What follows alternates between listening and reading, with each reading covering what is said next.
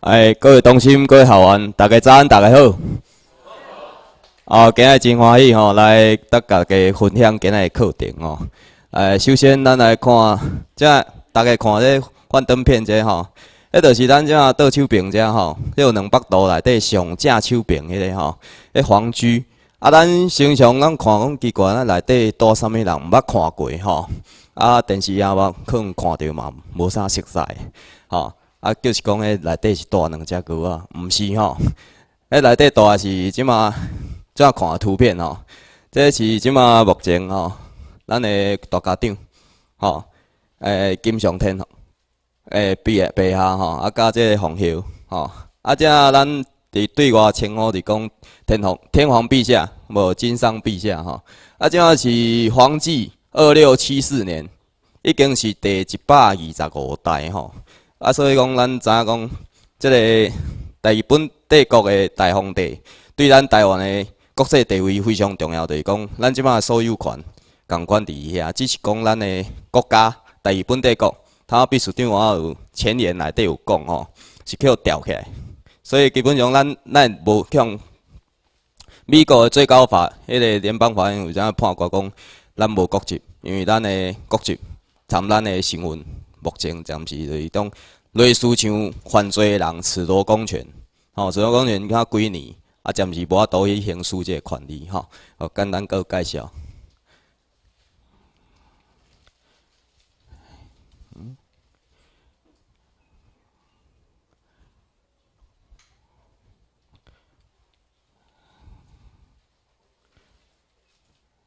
好，今日题目是台湾法律，法律台湾。啊，我本名叫做温清志，温承志。哈，我出生在昭和四十七年。哦，法律学院初级班是第十三期，高级新生班是第一期。哈，简单的介绍介绍一下。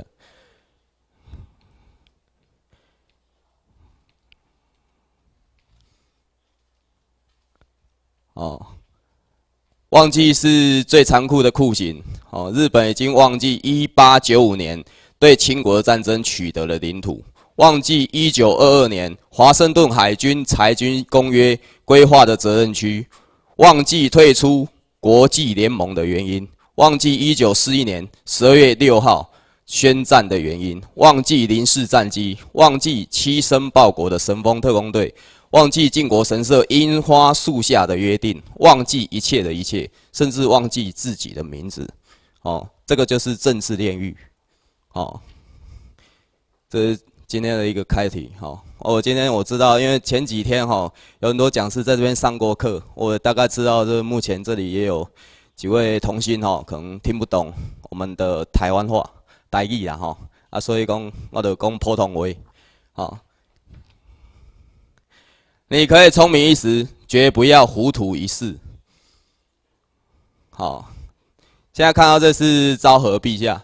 哦，昭和天皇陛下是在大正十年，也就是一九二一年，成为代理天皇陛下职务的摄政王。哦，我们在一些那个照片、台湾回忆里面，哦，有看到说啊，那个日日本帝国的摄政王曾经来过台湾。哦，他那时候是因为我们的大正陛下有一些身体上的状况，他可能有些方面没有办法来处理国事，哈。啊，所以在这方面来讲，就是由我们的昭和天皇陛下那时候的摄政王来代理哈那个职务哦，他是代理天皇职务的摄政王，所以可以称为什么皇太子摄政公。董事长的代理职务者不是只是董事长儿子，代理职务者有权决定公司决策，董事长儿子没有决策权，身份不一样的哦。然后这个是在那个维基百科。大家可以去查哈，昭和天皇，然后按下去就可以看到资料哈。一九零一年四月二十九号出生于大日本帝国东京府东京市，立为皇太孙，受乃木希典的严格教育。乃木希典哈是大日本帝国里面最重要的一个军官哈，他非常厉害，领导很多军队哦，在那个大东亚共荣圈里面所处理的一些维和的任务。战争的时候，担任一个非常重要的条卡，它是很重要的一个一个柱子哦。就是所有军队认为说，哎，军队溃败，应该领导的将军应该会很灰心才对，结果没有。乃木希典他有七生报国那种忠孝之心哈，所以他百战百胜。他是后来他是他的心信心，好支撑他把那个旅顺哦打下旅顺那个战争哦。就当今我们说能够得知资讯信息，我们会有疑问哦：大日本帝国是一个怎么样的国家？在第二次世界大战后是否已经亡国？现在日本国是大日本帝国吗？什么是绝对君主制？什么是二维君主制？谁是大日本帝国现在的护长？好，我们刚才看到那个大日本帝国它的宪法哈，啊上面写的明文写哈，大日本帝国宪法第一章天皇。好，我们看到第一条、第二条、第三条、第四条、第五条。好，介绍是现况。那国旗，日本帝大日本帝国的国旗日之丸的颜色是红豆色，好，这颜色大家要记清楚哈，是红豆的颜色，比较暗沉。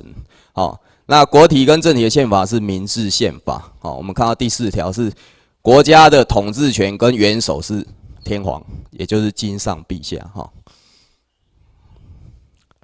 那第九条，现在日本国宪法哈，跟日本国国旗，我们先来看一下哈。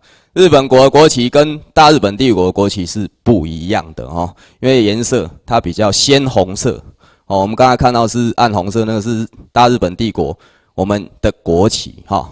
政体不同，和平宪法改制明治宪法哦，因为那个明治宪法里面的第七十三条修正案，让日本国的宪法哦可以得到修改。修改哪些呢？第四条就是我们刚刚看到的国家的元首。跟统治权绝对君主制嘛，都全部都是在金上陛下的手上哦，做决判。那第九条就是宣战权，宣战权，日本国现在宪法经由修正案，把第九条宣战权改成放弃战争权哈，所以日本国的宪法跟日本大日本帝国的宪法没有一样，不一样啊，政体不一样了哈。那效忠对象程度也不同。绝对君主制是绝对效忠哦，因为国家的元首跟统治权完全在金上陛下哦。那现在是虚位效忠，因为它底下有个叫总理。那我们看看日本国，其实日本国它现在的大环境情况哦，也是一个不正常的国家哦，因为他们的认知，他们认为他们的总理是首相，其实不是哦。现在这个安倍只能是说总理而已，真正的首相是像。大英国协，它底下有五十四个国家，那以英国为主，那个英国的首相才是整个大英国协的首相。哦，各国最多只能叫总理。哦，那日本国的话，它基本上是从大日本帝国里面抽离出去。我刚才有讲到，哈，它是经由大日本帝国宪法的第七十三条修正案，所以它的宪法是修正案出去的，哈。那由当时的帝国宪法。经由第七十三条，让日本国宪法得以换面貌一新，成为一个新的宪法哦。那领土范围不一样，哦，日本国它现在有的领土是从北海道哦，北海道、本州四国跟九州哈。范围的话是大日本帝国的国土比日本国领土范围还要大哈。那二零二零年修宪完成前，日本国仍处于不正常的国家状态，这是去年安倍。总理哈，日本国的安倍总理所讲的哈，二零二零年，哦，我们看到大日本帝国帝国宪法的简介哈，它是日本基于近代君主立宪而制定的首部宪法。我们刚刚秘书长在这边有开张名义有讲哈，那君主立宪就是军权跟民主可以同时来并行啊。那公布于一八八九年明治二十二年的二月十一号，并于一八九零年明治二十三年十一月二十九号施行。该部宪法也被称作明治宪法或帝国宪法。哦，然后相对于现行日本国宪法，日本国里面的 kokumin，哦，我们是刑民，我们是臣民，哈，我们的状况，我们身份其实跟日本国的国民两个程度是不一样，哈。他那个他。国民他们都讲说哦，旧宪法、战前宪法。那我们在听的时候，就直接把它转过来哈。这是明治宪法、帝国宪法。他们称旧宪法和战前宪法，是因为他们自己受的教育哈。那正常是应该是这个称法哈。值得注意是，这尽管这部宪法名称带有大日本帝国文字，但当时并不是日本正式的国号。一直到昭和十一年，也就是一九三六年，日本的国号才正式统一称为大日本帝国。哦，那我们看到这上面有明治宪法的行宪诏书跟帝国宪法的本文。哈，那帝国宪法。它制定出来之后，有没有办法马上施行？没有办法哦，必须要有金上陛下，也就是当时的明治陛下，哦，他颁布一个那个宪法诏书，哦，颁布之后，帝国宪法才可以施行。所以，诏书跟宪法来讲，哪一个权力比较大？诏书，哦。诏书比较大哦，那大日本帝国帝国宪法它里面有七章七十六条哦，条文非常少哦。好，大日本帝国宪法简介里面的第七十三条哈，我刚才有讲宪法的修改与现行法律制度的关系哈。日本国宪法是根据大日本帝国宪法 The Emperor of Japan 第七十三条。旧的规定哦，修改程序得到全面修改，成为了面貌一新的日本国宪法。日本国宪法于一九四六年十一月三号公布哦，那一天刚好是明治陛下的生日哦。自一九四七年五月三号开始施行。啊，根据日本国宪法第九十八条第一项哦，新的规定就是在大日本帝国宪法前提下成立的法令。如果跟新宪法的内容相违背的话呢，跟大日本帝国的宪法同时是失效哦。所以说说，只要没有违反新宪法的内容，那旧法令呢，在日本国宪法施行后仍然有效哦。那我们也听过一则台语有讲哈，讲新的不变，古的不变，新旧相图是相冲突，是以新的为准。哦，哦日本国宪法简介哦，日本国国民他为什么他什么什么制定的新宪？他那个宪法就是因为第二次世界大战哦，他们的日本国的国民为了要跟之前的那个帝国日本政府哈做切割，因为那个战后他们有恐怖哦，就是讲诶能力原子弹改元大拢拢破碎啊，所以因较无大哦，还得要做切割啊因。他们跟我们没有关系，所以我们要制定一个新的国家出来。他们就是有这种背景出现哦。他这里有写哦，消除因政府行为而再次发生战祸，之宣布主权属于国民，并制定本宪法。他这里写归写哈，实实际上来讲，他的讲的主权属于国民的主权是什是是讲什么？主权管理权，管理权而已，所有权仍然在金上陛下那边哈。那日本国宪新新宪法里面哈，一共有十一章一百零三条，有比较多哈。它修修宪后的日本国新宪法就是重点是在多哈第九条哈，放弃宣战权，那就是这把它改过来了哈。那也增订了西方普世价值、自由平等的观念与男女平权。大日本帝国与日本国宪法史与台澎群岛的关系哦，大日本帝国。战败，但是没有灭国，哦，很重要一点哦。那大日本帝国宪法因为战败被占领者美国压制，而并没有取消。为什么？如果大日本帝国的宪法消失的话，日本国的宪法也消失。为什么？因为大日本帝国日本国的宪法是经由大日本帝国第七十三条修正案所得来的，所以大日本帝国宪法如果消灭消失的话，日本国的宪法也是整个同步消失哦。那台湾群岛并没有认为，因为哈任何有效的法律文件，包括旧金山和平条约哈，这是就是 San Francisco 哎 San San Francisco San Francisco Peace Treaty 哦脱这是旧金山和平条约的英文简称哈，脱离大日本帝国架构，而是日本国。脱离大日本帝国架构，提早获得自由。日本国为什么脱离大日本帝国架构？因为他脱离这个这个整个战争后的责任哦。然后，一九七二年五月十五号，琉球民政府因为帝国台澎群岛被占领，没有本土的政权，所以只能加入日本国，提早获得自由。那就是让和平条约只局限在哪里？新宪法的地方。新宪法的地方就是刚刚讲的北海道、本州四国、九州，再加个琉球，就这样子。那台澎、台湾澎湖、西南群岛跟南极有没有在旧金山和平条约里面保障？没有哦。那台澎群岛目前是大日本帝国唯一的护长。哦，刚刚开始有讲，唯一的护长是谁？就是我们南达给。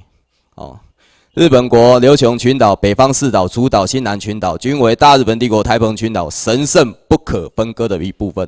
哦，这咱有权利要讲，但是日本国有权利要讲无？无权利哦。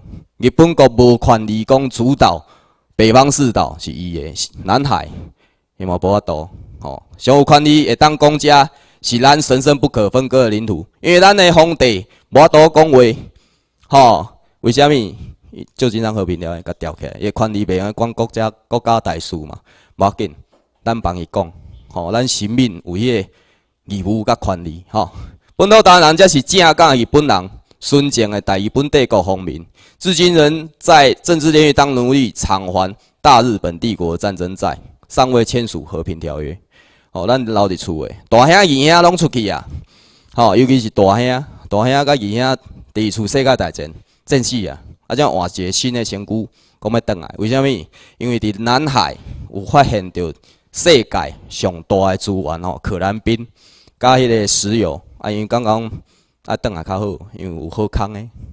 哦，啊，看到吼，大日本帝国的国境跟日本国的范围吼，看到吼，北方四岛。哦，那个北海道、本州四国、九州、朝鲜，朝鲜为什么在里面？因为有个日韩并合条款哦，他是把那个大韩帝国的高宗皇帝把朝鲜半岛的管理权永久让给大日本帝国大皇帝。哦，那日本日本政府有没有权利管朝鲜？现在是不行，因为他已经讲很清楚哈，朝鲜他没办法管。哦，他在旧金山和平条约的规定之下，他也不能管，因为管理权现在仍然保留在金上陛下手上哈。然后台湾、新南群岛，另外呢，这个帛琉附近哈，帛琉这边，所以帛琉跟我们有很很很大的关系哈。南优哦，再来是南极，南极是旧金山和平条约第二条一款有讲到哦，它是日本政府是放弃宣誓权，那宣誓权保留在哪里？金上陛下那边，哦，一九零五年二月二十二号，哦，上个月大日本帝国的主导日，哦，可以看到《新台湾论》第七十九到八十八页的内容，哈，Takashima belongs to Emperor of Japan，哦，日大日本帝国的主导。那我们在那个脸书还有其他网络上看到这一份图片的时候，可以看到这里是写日本国，我们当场要教教。他们也要跟他们讲，哈，不好意思，你们这里是写错了，我们要告诉你正确的国际法理观念，哈。那大日本帝国日之丸是什么国家？什么红？哈，有日丸国家有帛琉、孟加拉、辽国、尼日跟日本国，它的一红是一样红吗？刚刚我们看过哈，不一样，哦，比对一下，鲜红色跟暗红色，红豆色跟亮红，哈。不一样，哦，色卡也有，哦，如果家里有色卡的话，不妨拿来对一下哦。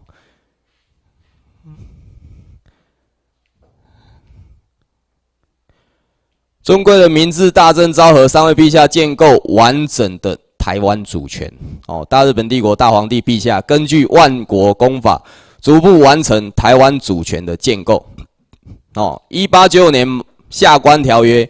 哦，日本天皇拥有台湾，然后完成台湾主权的建构是花了七年至十年哦。因为一九零五年到一九一五年之间，哦，台湾还是有很多的不和谐的地方哦。那这一这个高沙族灰色的区块，那日本政府哈，当时的政府他花了七年哦征服这个地方。他在一九零五年参加一个国际会议，听从美国的建议，因为美国我们知道他是西部拓荒的时候，跟印第安人曾经有过那个经验，那是根据国际战争法去做施行，就是经由 conquest，就是征服的方式，让他纳入管辖，好，这是合法的。那征服之后，建构台湾的完整主权，哦，那高沙族那时候在大清帝国的时候，并没有在清国里面，哈，因为他那时候他那时候图我们也看到。这只像什么蝉？那我们以前读的书哈，他说这个地方什么沉到海里面是是吗？是沉到海里吗？不是，是因为这个地方他没办法征服。好，那日本当日本帝国当时的武力，好，它基本上是非常强的，它都要花七年到十年来做征服的动作。可见高沙义勇军的名字不是浪得虚名哈。好，一九三七年皇民化运动说日本话取日本名，为什么要叫皇民化？那是一种同化的方式，要教育，要同化。日文下来讲，我们的国语日文，好日语，那大家一定要听懂嘛，大家一定要听有，听有看有，迄政策叫法都规定，大家在看有，叫我都配合嘛，才能够遵守规定。你看得懂文字，听得懂话，才能够同化嘛，哈。所以皇明化是一个好的运动哦。然后在一九四五年四月一号，天皇诏书实施大日本帝国的明治宪法，服兵役参政。哦，当时参政的话有那个贵族院，哦，贵族院跟众议院，也包括有一个那个参战权的一个代表，他住在那个张峰张张峰山哦，他是住在那个呃屏东，他有一支那个呃。天皇陛下的那个菊纹太刀哦，所以呢，一台湾自一九四五年四月一号开始已经是天皇陛下的领土，所以呢，占领不得移转主权哈。金上陛下持有台湾的所有权状哦，相信大家都知道哈，因为这几天的课程，大家讲师都有讲到这一点哈。日清下关条约，这是正式的名称。哦，马关条约这个四个字，我们尽量不要去用了，哦，因为我们的国家从头到尾就讲下关条约，马关条约是从外来，哦，支那，支那是他们孙文哦，孙逸仙带头讲的，好，那将来有机会再跟大家分享哦。那前面有讲到大清帝国大皇帝陛下及大日本帝国大皇帝陛下，哦，抬头非常清楚哈。那参加的有这些人，哈，李鸿章、李经方，哦，这是父子俩，这是代表大。大清帝国皇帝陛下，哦，那大日本帝国大皇帝陛下，他要接受割让嘛，哦，伊藤博文、陆奥忠光，哦，这些，好，台湾战争史回顾第一集第一本的第七到十一页，哈，就讲到这这方面了。好，平埔族分布图，哈，这个蝉，为什么有这个图出现？我刚刚要说明那只蝉怎么来的，哦。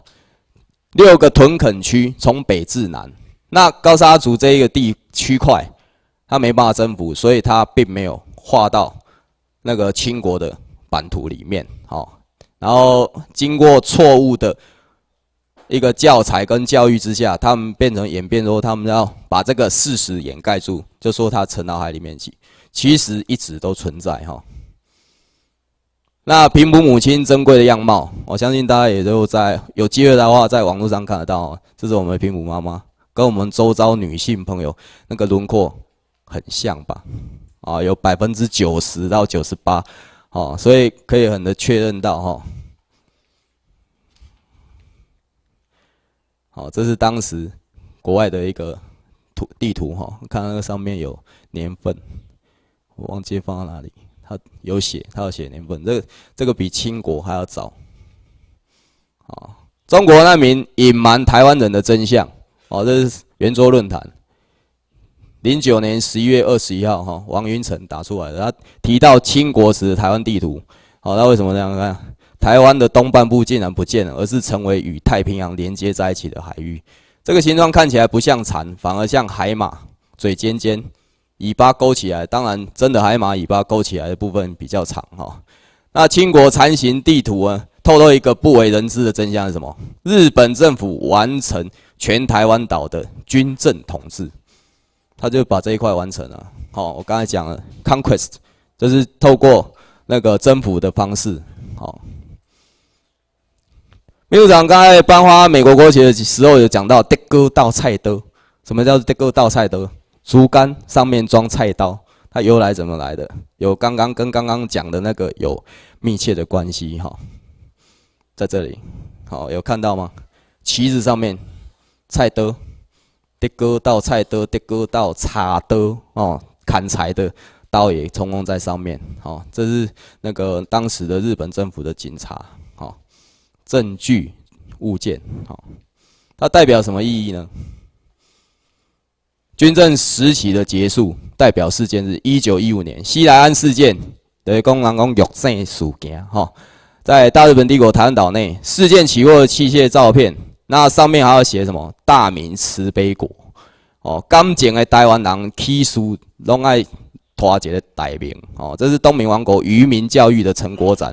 这个道菜都就是草莽起义革命，所以我们挂美国国旗的时候，包括挂台湾民政府的旗帜的时候，就是用标准旗杆，好，不要用的哥啦，好，OK，因为我们不是草莽哎，好，我们也不是感情台湾人，我们是什么？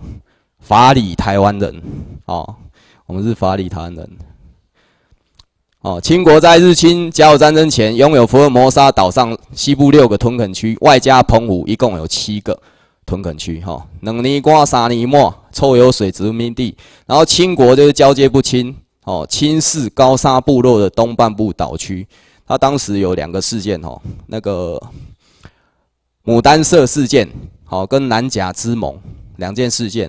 他们清国有个外交官叫毛场西，他对外讲说：“哦，那个东半部那地方哦，发生事情，这两件事情都是化外之地，法与不法，任凭贵国处置。”哦，他已经公开两次，哦，公开两次。南甲之盟是跟美国，然后一一艘船舰所产生的一个争夺的事件，哦，有个台湾族。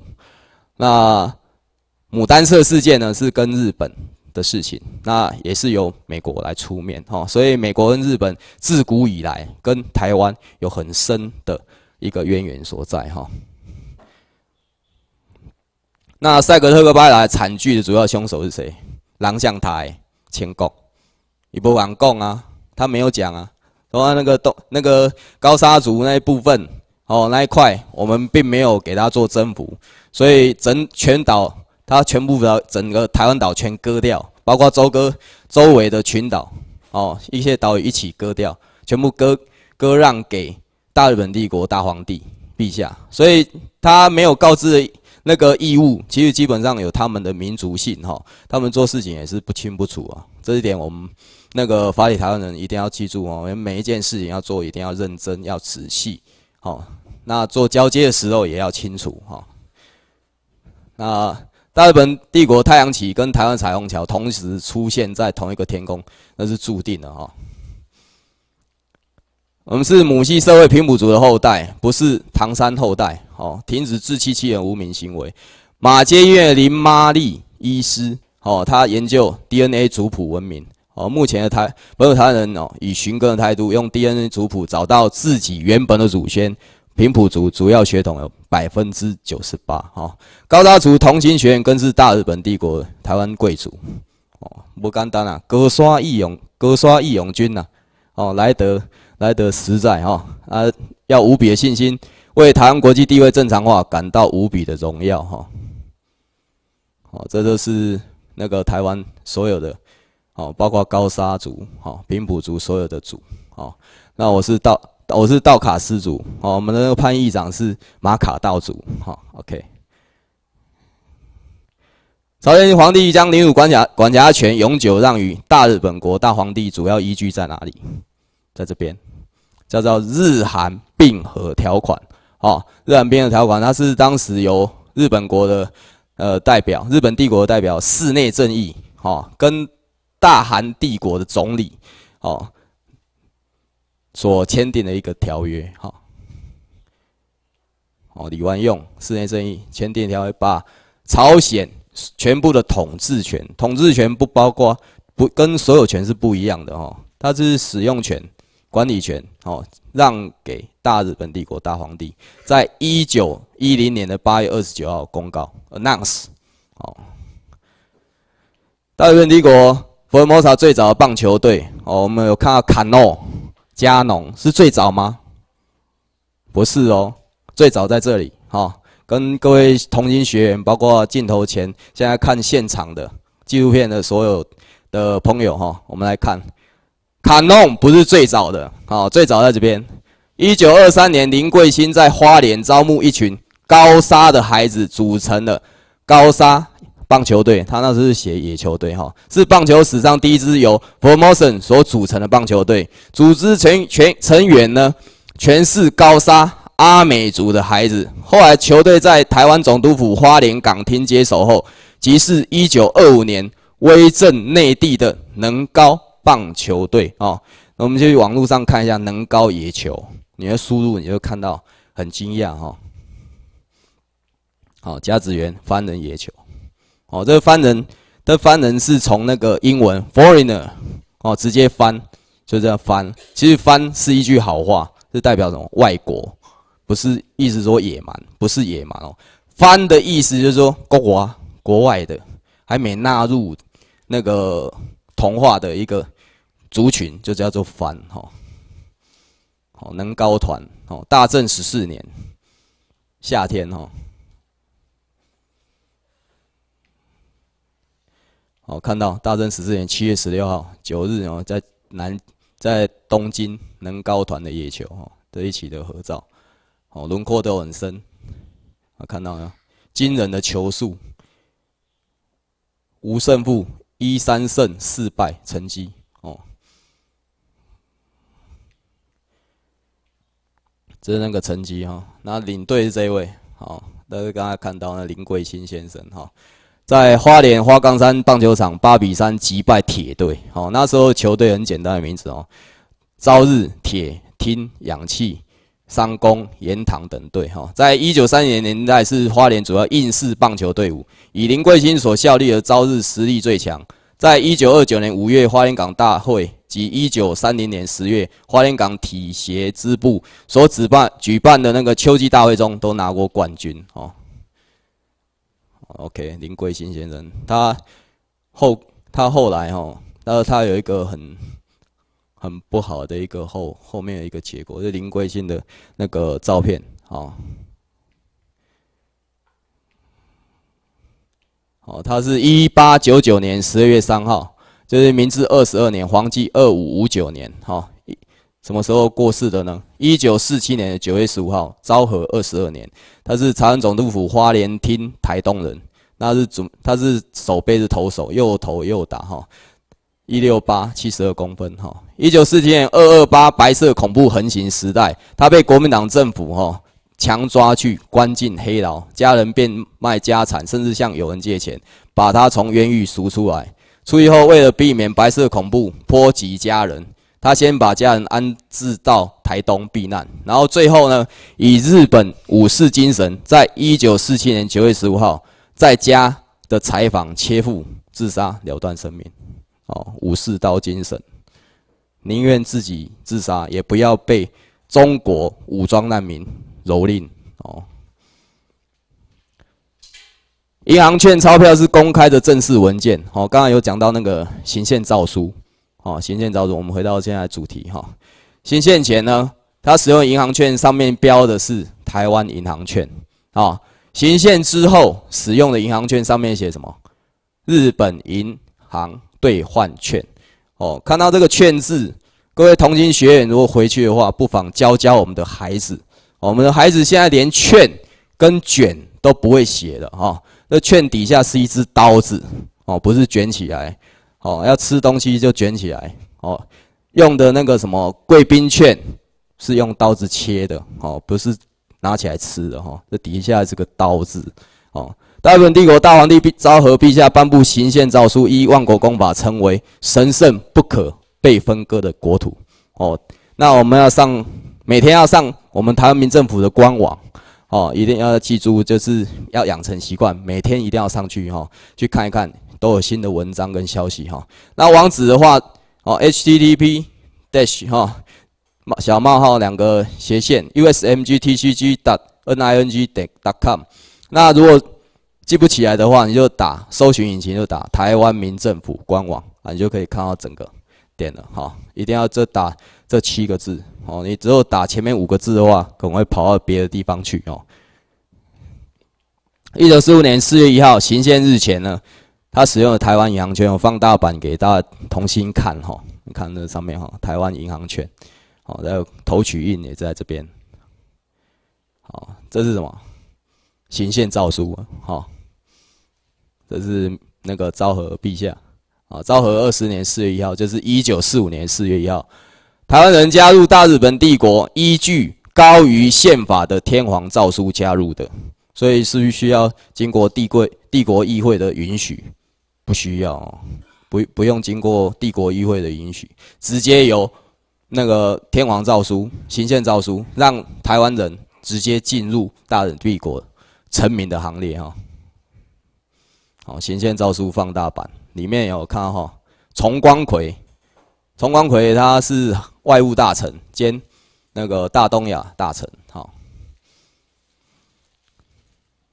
那行宪诏书上面哈很重要一点，这上面有看到朝鲜跟台湾，好，看到哈朝鲜跟台湾。大日本帝国台湾的行宪纪念日是一九四五年的四月一号，哦，我们不是法国人，我们不用过愚人节。四月一号愚人节是法国人在过的，全世界可以过愚人节只有法国人 （French） 才可以过。愚人节，因为是他们国家他们自己的节日，哦，四月一号是我们自己的节日，哦，那什么日子？重要指标日，哦，比如新的新的政令要宣誓啊，哈，宣施行，还是说新的公司政策要做全面的实施的时候，哦，还是什么大日子？其实基本上到目前。日本国都还保有这个传统，哈，四月一号是重要指标日，哦，是大日本帝国固有新政令会计年度的开开始，哈，这是基本常识。好，依依据国际法理万国公法旧金山合合约，大日本帝国台湾的内地在哪里？内地，哎，内地呢？当时你看内地，哈，你刚才写内地人、本岛人、高沙族，好。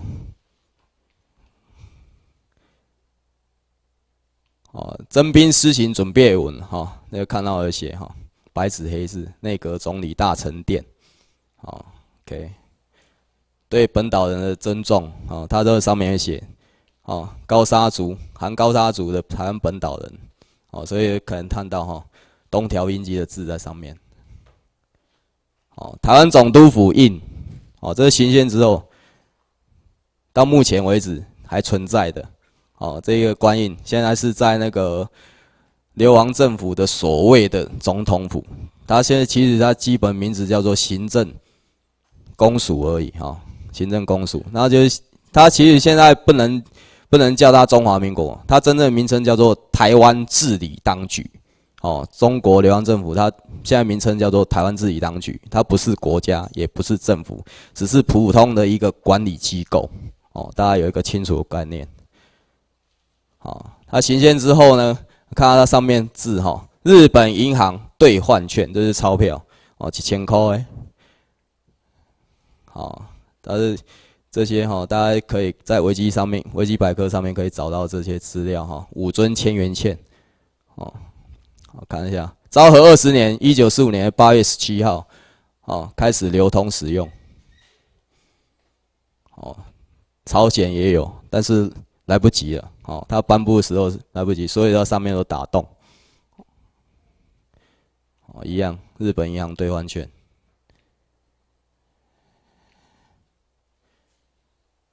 并未正式发行，哦，它有千元红色纸张，三个地方都有打洞，哦。大日本帝国大皇帝陛下领土，台湾已经证明不是日本的殖民地，因为有行宪诏书，哦，这看到这金普充。哦，这是什么？他担任撤退总指挥。好，真正的民族救星是昭和陛下，不是蒋介石。哦，他如果不是昭和陛下宣布，御音宣布说向盟军投降的话，可能原子弹就丢在台湾的新竹了，哦，不会丢在长崎、广岛的新竹就会丢一颗原子弹。那今天大家也命运也不一样哦，真正民主的救星是昭和陛下，他保住整个江山哦。维基百科他打到哈打这几个字太平洋战争，我们就看到当时太平洋战争时候哦，这两个阵营哦，看到这里哦，有我们昭和陛下东条英机。三本五十六全部都是哦，这是日本帝国的官员哈。再来是什么？满洲国爱新觉罗溥仪。再来是中国的合法政府南京政府汪兆铭。好，再来是什么？泰国，还有越南的保大帝。哦，所以我们的盟友是谁？越南诶，越南是我们盟友，泰国也是盟友啊。好，然后这些国家，再来是什么？美国，罗斯福，蒋介石。哦，孙立人是蒋介石一样啊，不过他带的军队跟蒋介石军队是不一样的。美国当时本来是要交由孙立人来做那个占领台湾，那蒋介石他就知道可能有一些内幕消息，后来把孙立人给软禁了。哦，丘吉尔，好，再看一下这边，大家看一下哈，这维基百科里面就有。好，大日帝国是绝对君主制的国家。好。昭和陛下因宣木投降之后，在九月二号签订投降书。外务大臣从光奎的代表身份有看到哦，Emperor of Japan and the Japanese government 哦，两个身份 and 哦，要看一下哈，放大版的。为何说大日本帝国国体还存在？哦，十六页八重菊，这是菊文，菊文代表什么意思？皇室，皇室的菊文。那大日本帝国。如果讲台湾的国花是哪是哪一朵花？哦，现在做调查一下，是梅花的请举手，野百合的请举手，樱花的请举手。哎，举一下手没关系，哎，举一下手，做个调查哈。啊，是樱花哈。所以现在网络上有看到说台湾国花的选拔。哦，我们看一看，脸书看一看，我们不禁要笑一笑哦。台湾怎么会有国花嘞？我们就问他：一九四五年四月一号行宪诏书颁布之后，台湾的所有权跟神圣不可分割的国土，我们的国家是哪里？大日本帝国，哎，Empire of Japan。我们的国花是 Sakura 呢？怎么会一只野百合插在那里？然后那篇文章很好笑哦，到目前为止还贴在网络上。那这篇文章也蛮多童心哦。就进去帮他留言一下哈，我们的是 sakura，那代表皇室的是菊文哦。因为万世一系的大日本帝国大皇帝永远存在，所以大日本帝国就永远存在哈。战争法的内容，好看一下哈。回顾的第二十页到二十五页，它是什么？用以规范交战国的行为，是一八二零年。拿破仑席卷欧洲的占地为王的观念呢，已经过时而且违法啊！全世界现在遵从的是国际法跟战争法，要将征服者赶离自己的国家，要跟他拼命吗？不需要哦，只要当地成立民政府 （civil government），恢复社会良好秩序，征服者必然自动离开。为什么？因为有战争法的规范哦。战争情况的分类呢？交战国在作战后，一方投降或要求停战，双方停火，哦，到和平条约签署前，就是我们国家来讲，是一九四五年九月二号，哦，到和平条约签署前，哦，一九五一年的九月八号，哦，签署前所发生的占领情况，哦，就是交战国军事占领实力呢？一九四五年十月二十五号。叫做交战国军事占领日，这时候呢，占领区台湾、澎湖，它就是名字就叫独立关税区，要不然叫独立关税领域。哦，和平条约签署后，叫做善意占领期。哈，军事政府的平民治理体系 （civil government） 这个时候就成立了啊。他现在美国的国防部陆军总署汇编有一本书叫 FM 四十一 dash 十，哈，这本书上面也有写哈。美国战争法汇编，哈，它范围包括占领法在内，时间是在一九四零年十月一号，哦，由美国国防部陆军总署首首次出版，哈，名称是 FM 二七 dash 十，哦，United States Army Field，这是什么？这这反正就这样念，哈。然后美国总统或司法部等各界处理或引述因战争带来各种解决方法的依据，最高法院判决或战争习惯法，就是惯用法了，哈，也会引用来讨论。哦，战争法法源它包括什么？公约或条约，好，战争惯例法。哦，美国与他国的大法官解释文。我们看到第一点哈，一九零七年海牙第四公约，好，一九四九年日内瓦公约跟国际红十字总会规章的人道主义章节，好，都有讲到哈。再来是战争的传统法跟惯例法，是英美的不成文法。好，再来是最高法院的判决或是联邦法院。因战争行为所产生的判例，哦，像美墨战争，哦，也是一样，哈，美国、墨西哥，哦，美国跟西班牙，这都是惯例法解释文，啊，什么叫做恐怖组织？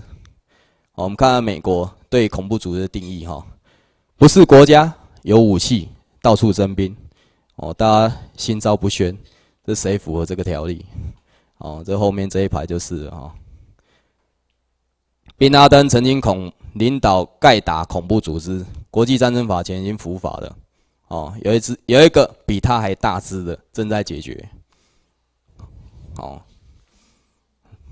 要出现啊！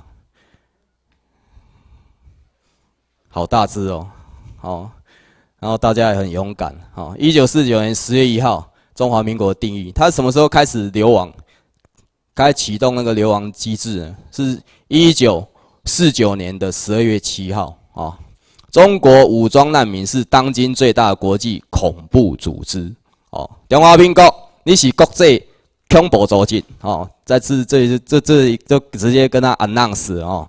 OK，那我们看到这三个阶段，法理三个阶段哈，这过去、现在跟未来。好，为什么要参加法理台湾？台湾法理最大的原因就是要了解这个区块哈。过去呢？美国大派日本天皇将日本台湾处分，派麦克阿瑟委托蒋介石元帅，经由麦克阿瑟的一号命令，哈，在台湾群形成了军政跟民政的两个系统，哦，台湾警备总部跟台湾行政长官公署。那个时候呢，刚刚讲的就是十一九四九年十二月七号，他启动了流亡政府体制，哦，叫 Chinese Taipei，它全文叫什么？Chinese。Exiled government in Taipei，哈，这时候呢，本土台湾人的公平跟正义就不见了。他那时候名称，我们还没有被改变的时候，名称叫 The People of Taiwan。Of 是什么意思？从土地上长起来的，土生土长就用 of。那在上面呢，放在上面，随时可以做更换，可以做迁徙，到处跑来跑去也叫 on。哦，那国际战争法下政治台湾的现在。好，现在我们现在这六十九年来，我们看到一切现象都属于政治台湾。哈，它是在台湾关系法，台湾关系法是在一九七九年，哈四月制定，它回溯到追溯到是一九七九年一月一号开始。那台湾关系法是真正害台湾的一个开始。哈，为什么缴那么多税？就是要背负战争债之外呢？透过台湾关系法维持了。美国跟台湾自己当局之间的一个军事跟各方面的一个既得利益的关系，哦，就所谓他们讲的盟友，其实是一个利益组织、利益一个关系在哈。它是在美国国院下 A I T American Taiwan 的民间组织，哦，让中国流亡政权继续奴役台湾，哦，将中华民国占领军改成什么？台湾治理当局，就是我们听到的台湾。Authority，哈，必须听命于美国国务院政治主导。这时候，美国是完全看不到本土台湾人，哦，为什么看不到？拿这一张身份证，哦，我今天有带来，哈，看一下，这张身份证可以证明台湾人吗？没有办法，没有办法证明台湾人。哦，这一张是美国国土安全部所制作的台湾政府晶片身份证，后面有晶片。哦，而且上面所根据的那个发卡上面有一个法令在哦，《万国公法》《国际战争法》《旧金山和平条约》第二条 B 款、第四条 B 款等二三条哦，这上面都有写。好，那这个台湾政府身份证的话，它为什么我们要去申请台湾政府身份证、晶片身份证？它美国国土安全局它发这个意思就是说，要确认台湾真正的本土台湾人是能够证明拿这一个身份证出来，能够证明说你是在美国军事占领下人民。最主要意义在在这里。那这一张呢，只能证明我们自己在这里被区分哦。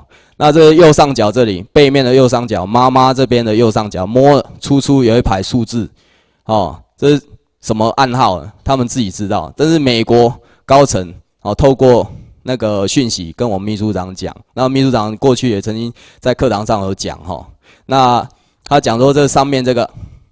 他的暗号就是区分说你是台湾奴隶还是中国 VIP，所以他为什么要去申请一些我们像我们身份说我们要争取一些福利？为什么我们得不到？很简单，的后面这一排数字已经跟你做族群分割了，好，没办法，所以这一张最多只能讲说哦，识别证，就让我进来这个识别证。拿识别证，可以今天可以换假呀。好啊，现在为什么要换这个台湾政府晶片身份证？把假的恢复成原来真正的面貌，这叫转型正义哦。前几堂课那个讲师，我现在多多少少会提到这方面。为什么要把它恢复原状？哦，因为我们被改掉，所以现在把它改回来。哈。流亡在台湾的中华民国发行中华民国国民身份证，这是台湾人，The people on Taiwan。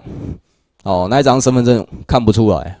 哦，但是法理台湾出现之后，哦，国际战争法跟旧金山和平条约的一个规范之下，美国必须主动来执行二三条哦的那个规定，他必须亲自来占领，由 USMG 亲自占领。军政方面由美军亲自来做。那个主导，哦，那我们看到记德舰在那个菲律宾渔那个渔船，哦，渔渔长那个船长被射杀的案件里面，我看到记德舰它上面是美国国旗，那也代表说现在的所有台湾自己当局、台湾 authority 所有的军队武力方面，完全由美军主控住了哈。那民政方面是由我们台湾 civil government 来做主导哈。美国现在不能说看不到本土台湾，为什么？我们有台湾政府晶片身份证，是由美国自己制作，哦，单位讲得很清楚，国土安全部，哦，所以新闻记者，你讲说台湾民政府自己制作，那很抱歉，你没有读书，哦，没有读书，不好意思，你请多来我们这里上课，哦，不要讲台湾民政府自己制造，哦，这是美国国土安全部自己做的，哈，这些已经申请台的台湾人，哦，他的身份是 The People of。台湾，这是恢复原来的状况，哦，这样盖过来，这样盖嘛，啊，那个恢复原状，哦，这个就是转型正义的一个开始，好，不正常的政治台湾现状很多了哈，看到这两个受降单位，太平洋战区跟中国战区，哦，美国是主要占领全国，这是在台湾，哦，中国战区是在中国啊，这是那个何应钦，哦，这是陈仪，好，不一样。那美国麦克瑟以第一号命令由蒋介石代表盟军投降，哦，不是中华民国，哦，因为当时中国有有四个四个团体，哦，东北的满洲国，哦，是日本帝国的军事占领地，他是为了要帮助满洲人建立自己的国家，哦，他的基本基本上就是要根据呃一九二二年的华盛顿海军裁军协定，就是讲说。整个亚洲的大部分的秩序就交由日本国哦，大日本帝国来做维和的任务哦。那在国际战争法铁则之下，一九四五年台湾不是殖民地，所以占领不得移转主权。虽然受降了，可是台湾并没有被割让哈。台湾光复之后，为什么中国银行钱币无法在台湾使用？因为代理占领不得移转主权啊。那我们看到这这个。美国国旗那么高哦，它出现的意义只是说美国把分配占领权给蒋介石元帅啊。交战国军事占领日是十月二十五号哦，台湾的愚人节是十月二十五号哦，要记得。十月二五啊是愚人节，伊讲甲咱骗讲台湾光复节，敢对？骗人的啦！这样讲的伫遮哦，交战国军事占领日，所以讲咱直直吼，甲连直直的讲，甲真相不断的在讲。他们现在在新的教科书里面哦，也把台湾光复节全部删掉了。哦，再讲就会被人家吐槽哈，因为。真正的出来在这里的啊，那不是台湾光复，是接受投降。哈，一九四一年十二月八号到一九四五年九月二号，二战期间呢，中国军从来没到过台湾。好，我们看到去年的六月九号星期天，中情局一九四九年文件指出，台湾不是那个中华民国一部分，是日本帝国国土，也是美军的占领地。哈。我看到这里哈，中国政府的中国银行，一九三七年就已经颁布了，只是在中国使用，为什么没有拿来台湾用？哦，一九四年、四六年为什么使用台湾银行的钞纸钞？哦，因为占领区使用，不是中华民国。哦，代理占领台湾，来占领不得移转主权。来，我们念一下哈，占领不得移转主权。流亡政府不得就地合法。哦，跟各位同心哈，这两这两句话是我们这一次来来参加研习班哈，最主要的一个要记住的两个重点哈。哦台湾台北公会堂，哦，那时候受降典礼一个情况哈，大家看一下哈，那，看到这个这个苏联的国旗，哦，这美国。美国国旗，这是那个那个中华民国海军军旗，哦，这是英国的国旗，好。那为什么会这样讲呢？你注意看哦，地点在哪里？意义在哪里？好，很精彩，在后面啊。哦，解读哦，该读哦。稍早一场是一九四五年九月九号在南京，这是什么？蒋介石元帅，他不叫中华民国哦，是几类？叛乱团体，这样刚才政府是中国南京政府是汪兆铭那个南京政府才是合法的哦？为什么两个受降单位？哦，它是太平洋战区，画得很清楚。中国战区在这里，哦，东北满洲国部分由苏联占，哦，中国由蒋介石哦所带领的占占领这里，好，美国是整个地方。哦，整个大日本帝国的部分由美军亲自占领，其他由盟军占领。好，法理解读解读该懂该懂哦。为什么没有办法露面？